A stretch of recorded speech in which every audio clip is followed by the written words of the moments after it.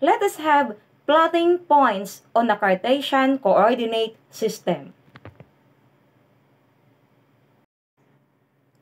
To plot the points on the Cartesian coordinate system or the rectangular coordinate system, always remember this one. X before the Y.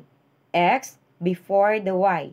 So for example, we are going to plot the point with coordinates positive 2, negative 1. So positive 2 is the x coordinate and negative 1 the y coordinate. Okay, so positive 2 from the point of origin, we are going to move 2 units to the right because the positive numbers are to the right of the origin or to the right from the origin. Okay, so it is here. And then, we are going down 1 unit since negative 1 is our y coordinate.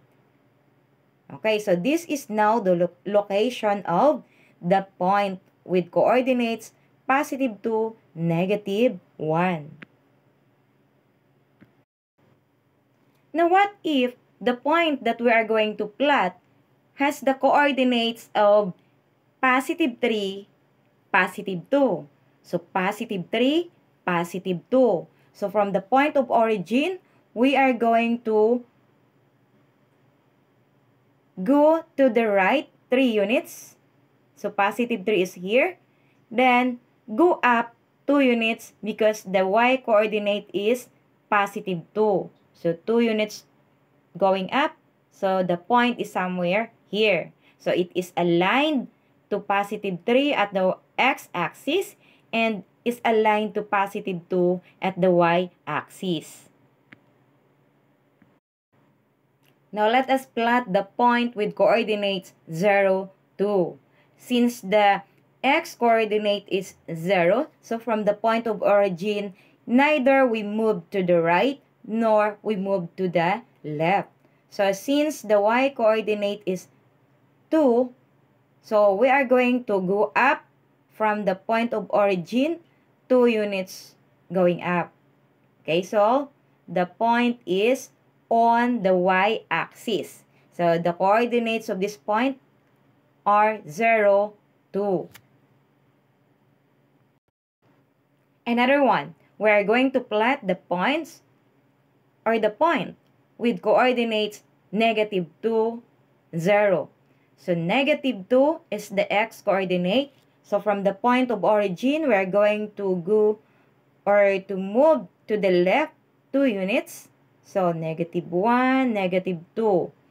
Since the y-coordinate is 0, so we are not going to go up and we are not going to go down from this point. So meaning the point is located here. It is at the x-axis. So the coordinates of this point are negative 2, 0.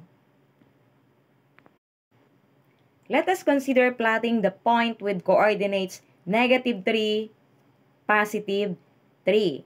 So from the point of origin, we're going to move 3 units to the left. Since it is negative 3, the x coordinate is negative 3. So from here, we're going to move to the left 3 units. 1, 2, 3. So it's on negative 3. Since the y-coordinate is positive 3, so from this point, we're going to go up 3 units. So we have 1, 2, 3. So, this is the point. So, the, the coordinates of this point are negative 3, positive 3. Now, what if the given point has coordinates negative 4, negative 1. So, where are we going to plot the point? Okay, so since the x-coordinate is negative 4, so from the point of origin, we are going to move to the left 4 units. So, it's here. And then, going down 1 unit because it is negative 1. The y-coordinate is negative 1. So, from here, going down 1 unit.